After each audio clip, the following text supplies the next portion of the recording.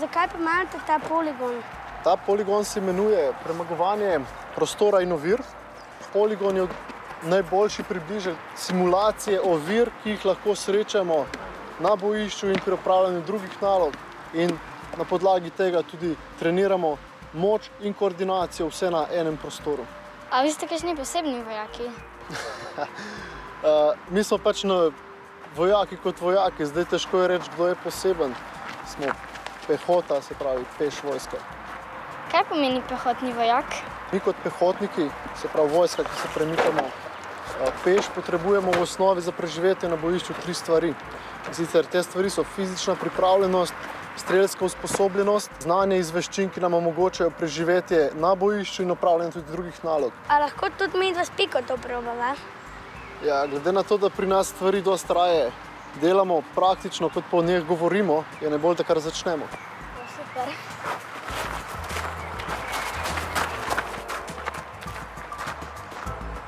Jaz začnem videti, da greste pa kar za mano. Ja?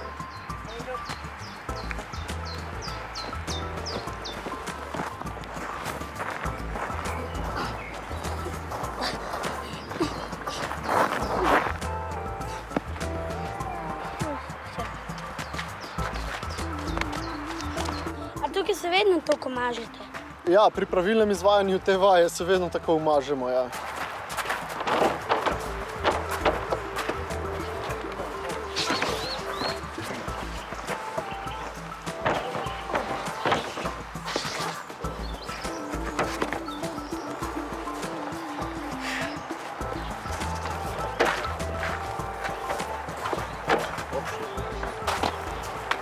In je bilo težko? Ja, malo visoka. Ja. Je bila? Ok, gremo kar naprej.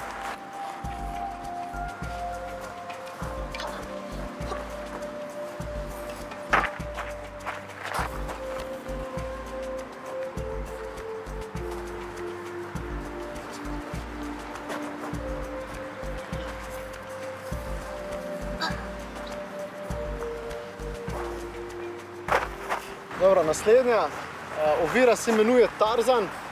Zelo je pomembno, da jo izvajamo zelo sigurno, ker vidite, da je kar višina za past.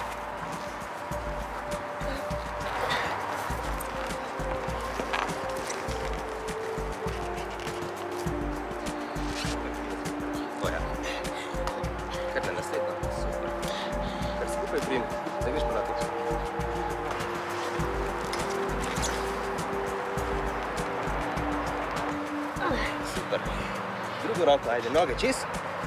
Tako.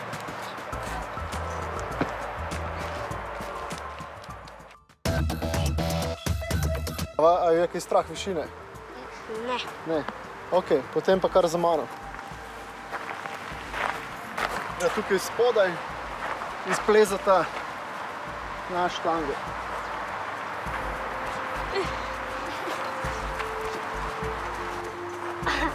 Gor sem. Up. Ajde pa gor. Tako, super. Evo, zdaj pa bo. Dobro. Zdaj pa tukaj dol skočaš.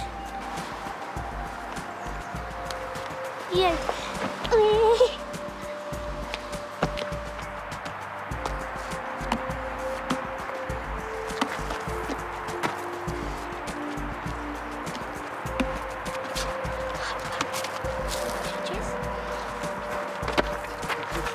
A ta bo šla? Mogoče. Bomo videli. Probajte, zdaj čakamo drugi strani.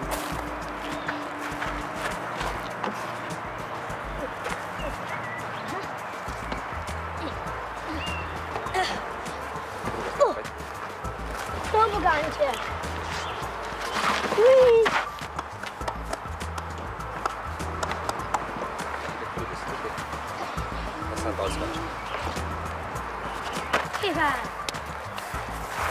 Odlično. Kakor vidite, poligon se še malo nadaljuje, vendar mislim, da sta pokazala, da zadevo obvladata in lahko na tej stopni zaključimo urjenje.